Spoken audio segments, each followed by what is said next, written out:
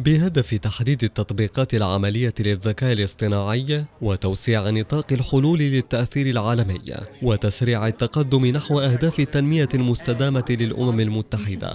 انعقدت القمة العالمية للذكاء الاصطناعي من أجل الصالح العام في الواقع وعبر المواقع في جنيف. والتي نظمت من قبل وكالة الأمم المتحدة المتخصصة لتكنولوجيا المعلومات والاتصالات بشراكة مع أربعين وكالة شقيقة للأمم المتحدة.